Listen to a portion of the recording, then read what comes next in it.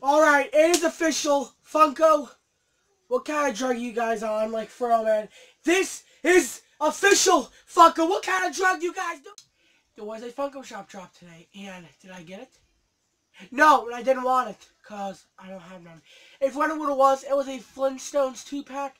I do not know their names, because I forgot to do a paper making this video quick. A picture will be up on the screen of the 2-pack, and I want to go over some, um, this morning around 3 o'clock in the morning, they went on, they went live.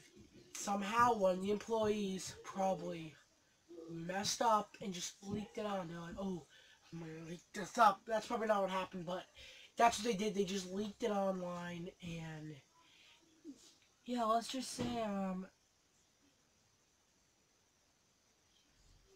Awkward silence. Um, and let's just say um that it really did not sell out that time. Just a lot of people are buying. A lot of people bought them. I think like 1,800 were sold, but then Funko took it down, and then they revealed it at 10 o'clock, and then it's and then 708 pieces went up at 2 o'clock, and it sold out like under two minutes. So I'm like, Funko, get your shit together. I'm sorry, man. Hey, parents, if you're watching, I'm a lost hope, remember? I'm, I'm trying to... Okay, never mind. I'm trying to behave. I'm, I'm no... What I mean is I'm trying not to get my channel taken down. You know. Jesus. Okay, I'm kidding. But yeah, um... Anyway, sorry, if you're watching this video, um, no harm feelings to myself, just joking. But yeah, anyway, um, I, I didn't like it. And I was going to try to see if someone could just pick it up for me at the um, HQ just for fun. I know, weird, right? Yeah, I'm, I'm always weird.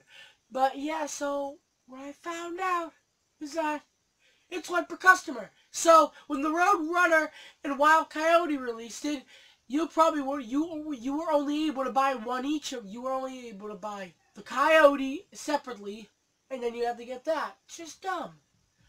I don't know, man. Just want to go. I just want to go this with you guys. Think it was crap. I don't know. I think it sold. It didn't sell out under two minutes. I think it sold out in like seconds. But it was crazy. Um, it probably was one of the most. Just 2020, man.